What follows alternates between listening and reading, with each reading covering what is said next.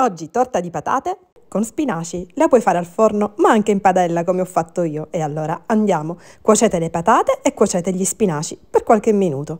Tagliuzzateli con le forbici e metteteli da parte. Schiacciate le patate e raccoglietele in una ciotola. Aggiungete formaggio, pepe, uova e un po' di pan grattato. Amalgamate e ricoprite una padella dal fondo spesso con la carta forno, distribuitevi sopra metà del composto di patate, gli spinaci, il pepe, il formaggio e tantissimi cubetti di provola e mozzarella. Ricoprite un po' d'olio in superficie, pan grattato e adesso 15 minuti a fuoco bassissimo. Ribaltate come sto facendo io con la carta forno ed un piatto e fate scivolare ancora in padella.